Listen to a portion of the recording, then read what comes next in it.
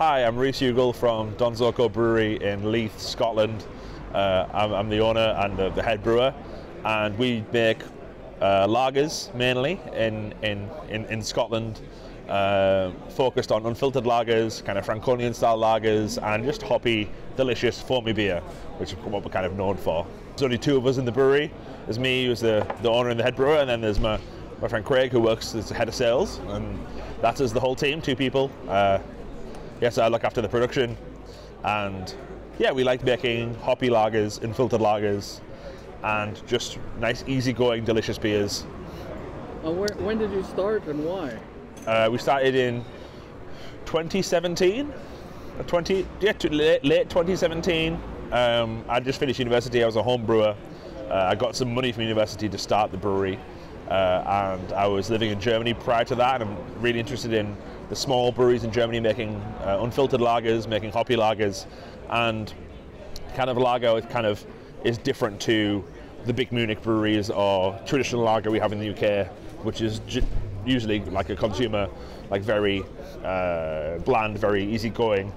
Something that's a bit, a bit more challenging, a lot more flavour, and something that represents like a uh, real a real difference in, in kind of the lager category, something which is a bit more a bit more like yeah, flavoursome, a bit more uh, kind of maybe challenging to a lager drinker, but is ultimately really delicious and can can be enjoyed by anyone. It's not not like uh, some craft beers which are like to certain markets. Usually, most people can enjoy a delicious lager, and it's about me finding that like space where easygoing, delicious lager, but with enough flavour and enough kind of complexity to it, where you can think about it and you can have a but you can still drink a few of them.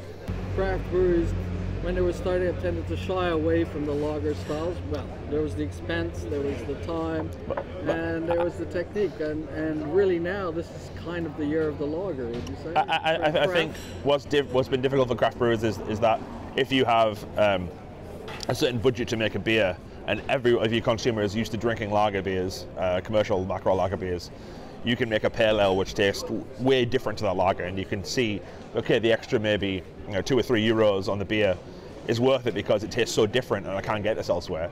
Brewing a lager, the difference between uh, generic consumer pils and a craft brewed like really delicious lager is smaller. It's still it's still there, it's still important, but it is smaller.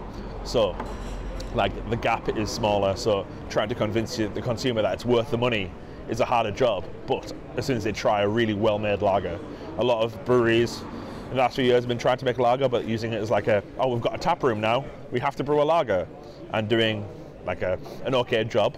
But not many breweries are focused on doing lagers and making it their whole their whole shtick, and that's where kind of we focused on and trying to make it our signature is brewing really good, clean and filtered lager. Uh, that is different enough that it's worth the extra money because it's more expensive. It's from a small brewery, but also it's accessible to everyone and their parents. Like everyone can enjoy it. Like that's kind of our mission statement, I guess. What's your production level per year right now, and where do you hope to go? I guess it's growth. Uh, our, our, our, brewery is quite small, so we will only brew just under a thousand hectoliters a year, and then we're hoping to grow that to maybe two to two and a half. But with in the future, we're looking to maybe have a tap room, more of an on-site uh, experience direct to consumer, so we can keep making the same quality beer at the same level, but make more money through direct to consumer sales. At the end of the day, the public will get it cheaper. We can make a bit more money. We can reinvest in the business, and that's where we hope to be going forwards. Not to be a massive production brewery, but still remain small, but have people coming to us, drinking our beers, and and and having it at the source, which is kind of the dream, right? Uh, I hope, yeah, in the next couple of years that'll be that'll be sorted. That'll be a production model going forwards. That's the current plan. Uh, yeah. And are you still having fun going from garage to brewery and I guess learning the business? Yeah, it's been a big learning curve, learning to brew commercially. Um, kind of every day, every day as a school, there's a lot of people who know a lot more than me, learning from those people, doing collaborations with those people, and then kind of honing my own skills to make the beer I want to make better, which is what it's all about. Like, if you think you know a lot of things, probably probably wrong. I think everyone is is the beginner in their own thing, and yeah, every day is a school day, learning things uh, from how to run the business to to production methods to, to processing methods, everyone knows more than you, and that's I think if you don't have that attitude, you're destined to fail because, yeah, no one knows everything. So. Excellent. Well, thank you so much for taking the time to talk to the Beer Idiots. Cheers. Thank you. Cheers.